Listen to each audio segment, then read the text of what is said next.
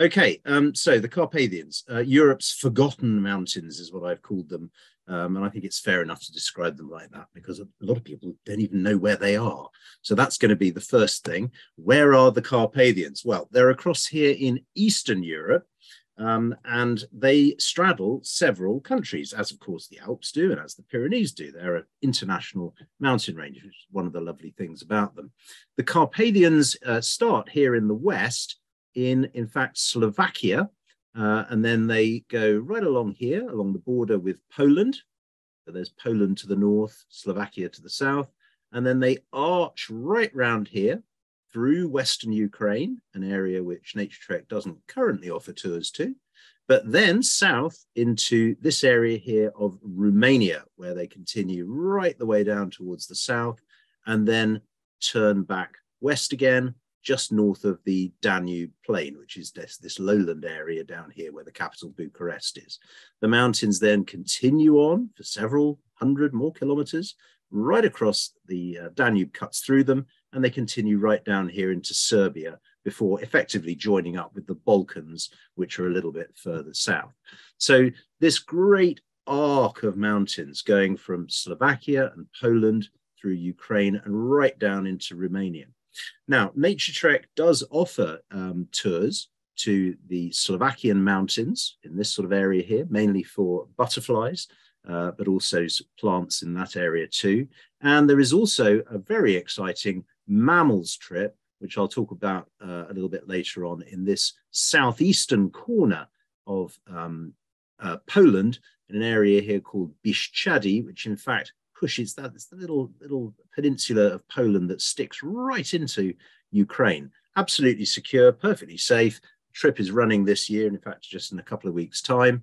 Um, but I'm mainly going to be talking to you about my experiences um, in this part of the Carpathians, in the Romanian Carpathians.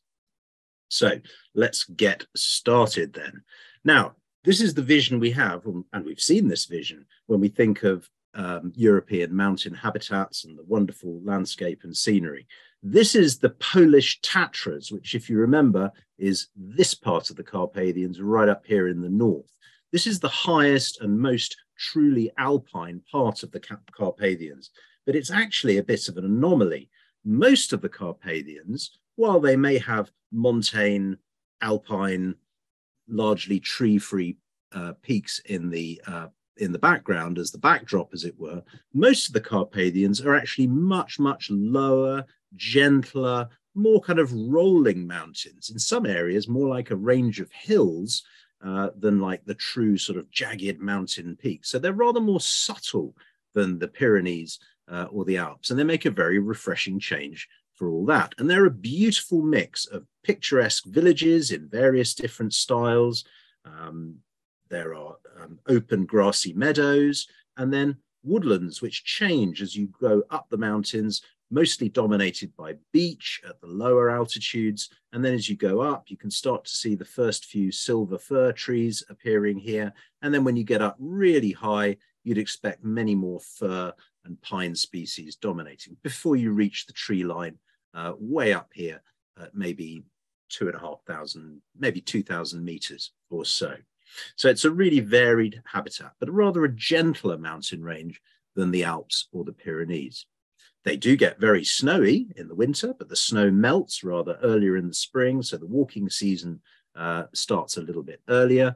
And during the um, the months that Naturetrek tends to go there during May right through to August for different sorts of trips. The snow has certainly gone from the areas that we visit. Um, there may still be some remnant snow patches on the very, very highest peaks, but they're very, very beautiful, extraordinarily empty. And what's really remarkable about the Carpathians is that it's like stepping back in time. In Romania, in particular, a country that only joined the EU uh, well, a few years before we left it, but um, uh, only joined the EU quite recently. Its agricultural system is really um, the sort of thing that you might have found in Britain in the 19th century or at latest the early 20th century. So you see uh, hay meadows everywhere with hay that is cut still by hand with scythes uh, in June uh, and then put to dry on these ricks or various structures that you see. So these, what I like to call hay monsters dotted around the lowland landscape. And this means that you have a very, very flower rich habitat in the spring. And then in the summer, you have the grassy swards and the woods filled with lots and lots of um, quite often quite common European birds, but they are in extreme abundance. You can even see up at the top of the screen here that in some areas strip farming is still uh, practiced. So it really is this return to an earlier age. Lots and lots of wooden buildings, horse-drawn um, and indeed horse-worked agriculture going on. Um, shepherds still uh, tending their flocks high in the mountains, moving their animals up and down. It's it's still um, this remarkable uh, survival of medieval European agriculture. And this means, of course, that the birds associated with agricultural landscape um, have survived and are indeed thriving still in these landscapes. So one of the commoner birds, in fact, that you see in the Romanian lowland areas of the Carpathians, down in the river, in the river valleys, in the agricultural areas, in this case, sitting on top of a rusty old tractor, are things like redback shrikes, which of course have sadly been lost from Britain and are declining in most of Western Europe, but are still delightfully abundant in um, Southeast Europe, notably in Romania. Another absolutely common and typical bird of these river valleys, the agricultural areas, lots and lots of white storks, feeding, looking for invertebrates, frogs, insects, grasshoppers, and so on in the fields, and then flying into the towns. There's storks' nests uh, right opposite our um, hotel, which we'll see in a few moments' time, um, in the uh, little Romanian mountain town of Vulcan, which is so named because it's right opposite an extinct volcano. Extinct, that's the good news. Uh, so lots of white storks around, but there are also more spectacular and unexpected species, things like lesser spotted eagles, one of just, um, just one of a whole range of different raptors, uh, which can be seen um, flying around the meadows and over the mountains and over the woodlands and so on uh, and you can expect a whole range of those. Uh, two different species of buzzards can be seen in this area. There are hobbies are common, all sorts of birds of prey uh, to be seen. And the lesser spotted eagles, they will often drop right down into the farmed areas and you can see them hopping around on the ground right by the side of the road. So here's a photo uh, that I took of uh, the group I led to Romania last May. Um, so as I was explaining to you, most, most of the habitation is down here in little towns and villages in the valley floor. Um, and then as you gradually go up the sides of the valleys, you go through these open pastures and meadows and so on, and then higher up still into open woodlands and then denser woodlands. And then eventually, were you to get all the way up high into the mountain tops, uh, you might get into the true alpine environments. We don't tend to do that in Romania because it's a serious mountaineering undertaking to get up that high. And the infrastructure of things like cable cars and flashy little mountain railways that we've been seeing in Switzerland earlier on simply don't exist. So to get up onto the top of the mountains at the back there, the Craiului Mountains, uh, would be a, a, sort of a two, three day expedition to fully traverse that ridge. So don't worry, no one's going to be expecting you to do that. Instead, we go for gentle day walks, this is the steepest track that we went on um, during our time in the Romanian Carpathian Mountains. And I think you'll agree it doesn't look overly challenging. Bit of an uphill, but there's a wonderful little, well, there's the bus there, and there's a wonderful cafe just there, which does some of the best ice cream um, this side of Istanbul. Anyway, as you go up, as you get into the woodlands, then you encounter a species that's been mentioned uh, more than once, I think, this evening, and that is the resplendent nutcracker, which is a member of the crow family, believe it or not. I suppose you can, just about. Uh, but this is a very, very sought after species. It breeds quite widely in Scandinavia and in the mountains of southern Europe, but it's often really quite hard to get to grips with uh, despite having a raucous call and sometimes flying over the forest canopy, it can be quite tricky to find. So we do spend a fair bit of time in the right sort of habitat, listening, scanning, watching closely.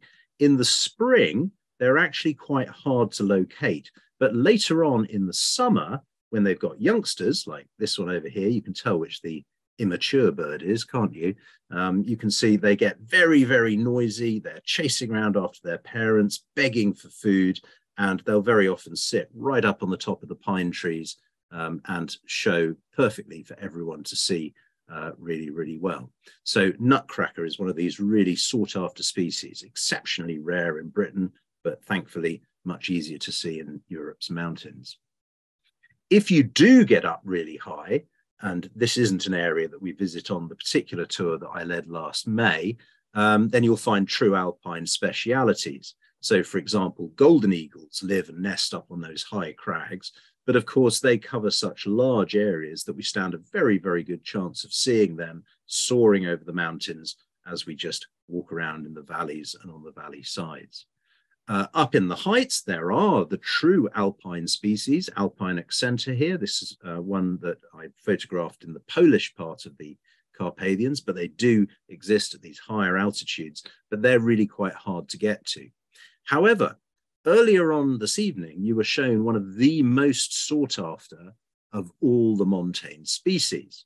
Now, normally you have to climb to, in the Pyrenees, for example, to mm, something like 3,000 meters or above, sometimes even higher, to even stand a chance of this next species. However, in Romania, we have a secret site. This involves walking up this very easy, barely uphill, graded track alongside a bubbling brook with grey wagtails and dippers, um, zipping up and down the river, a lovely little half hour walk along this track until we get to this little concrete bridge. We then gather by the side of the road we pause, we wait, we look with anticipation at this crack in the rock. I'm giving very, very detailed gen in this particular instance, and we wait. And then we hope, and indeed last May it happened, as if by magic, the wall creeper appears from around one of the headlands, lands on the cliff face, and we were very, very lucky that the bird we saw uh, last year was singing building a nest, even dropping down onto the path only about 10 meters away from us, flicking its wings, flashing those brilliant crimson flashes in the wings. It's one of the most accessible known sites for wall creeper. So um, if you're perhaps a little bit daunted by climbing up the very, very highest moraine and boulder covered screes of the Alps or the Pyrenees, you do stand a realistic chance we never use the word guarantee in wildlife tour leading. As Clint Eastwood once said, if you want a guarantee, buy a toaster, but you do have a very realistic chance um, of connecting with wall creeper in the Carpathians of Romania in the spring and summer. But it's not just about birds. I'm not going to talk about plants for two reasons. We've had lots and lots of fantastic plants. Secondly, actually, there's three reasons really. Secondly, I don't really know all that much about um, the botanical side of things. It's certainly not my specialism. And thirdly, Naturetrek doesn't currently, at least, run purely or overwhelmingly botanical tours to the Carpathians. That may change in the future because there are a lot of exciting endemic um, and rather exotic Carpathian plants, but it's not a tour that we've got developed just at the moment.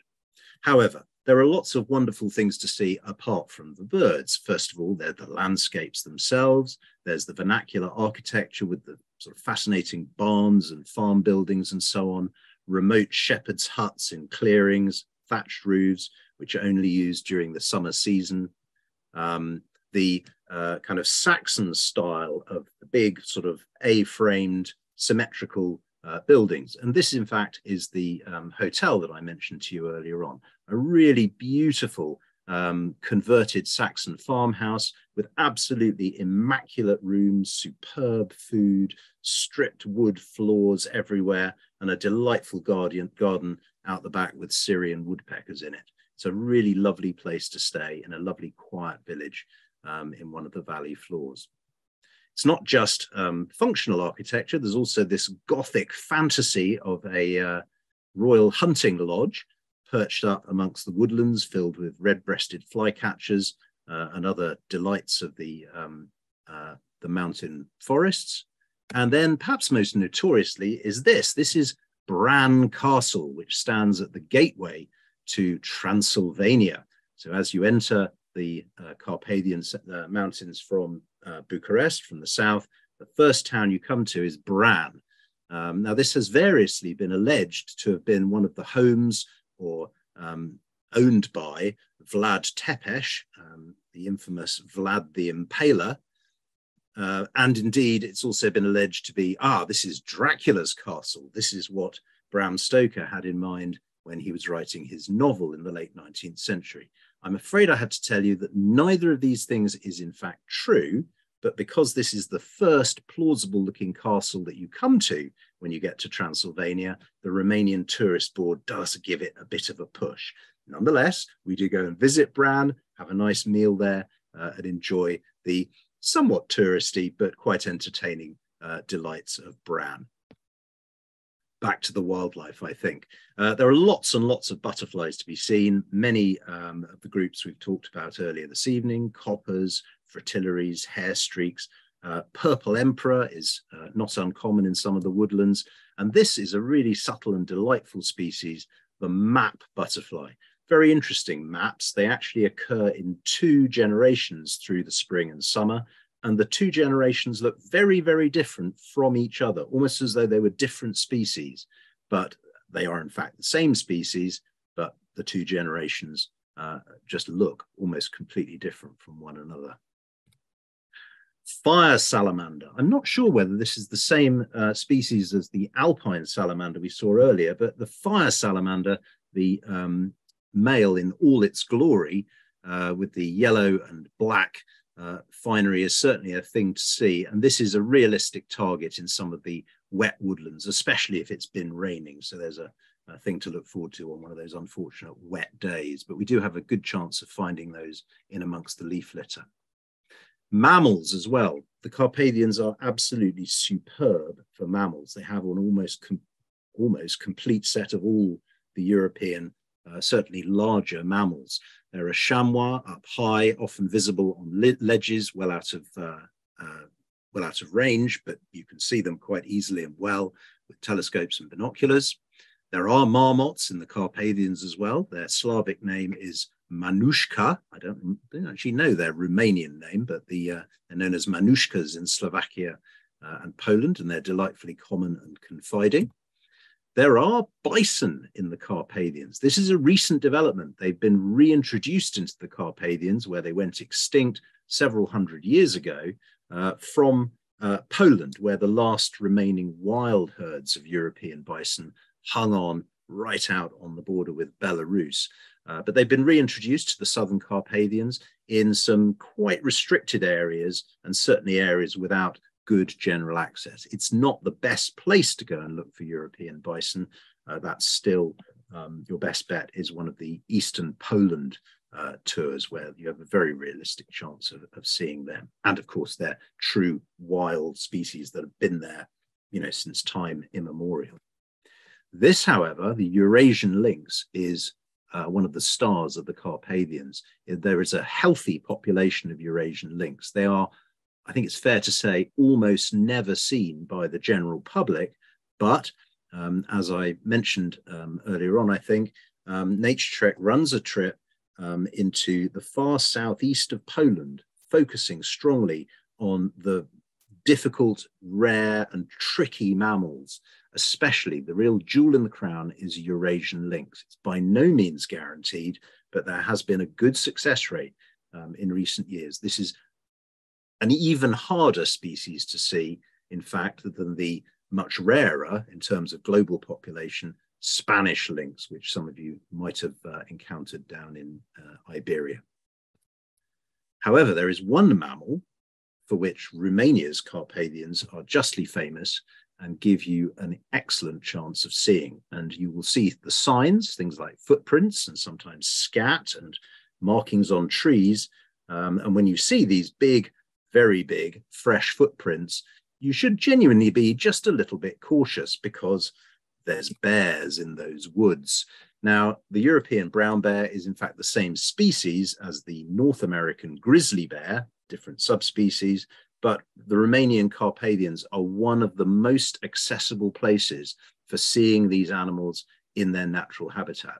Now, you will find cheap knockoff tours that will take you to a rubbish dump or the bins around the back of McDonald's in some grim area in a mountain town. And uh, as we know, know I think a, a fed bear is a dead bear, certainly in that sort of environment. However, up in the mountains for several decades now, they've been developing um, a sustainable form of ecotourism where small amounts of semi natural food are put out for the bears, and small populations of the bears have become habituated. They're absolutely wild animals. And if you make significant noise when you're sitting in the hide viewing the bears, they will scarper and be gone, and that'll be it. They're extremely shy, extremely wary, but you stand a very, very good chance of encountering encountering European brown bear in the European uh, in the Romanian Carpathians. And if you're quiet, if you're lucky, if you're patient, if you sit still and don't make lots of rustling and banging in the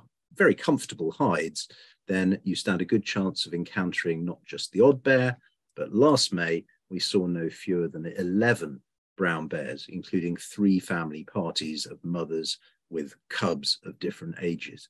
And that's a real privilege to be so close to such an awesome um, and iconic large predatory animal. However, we did manage to best that.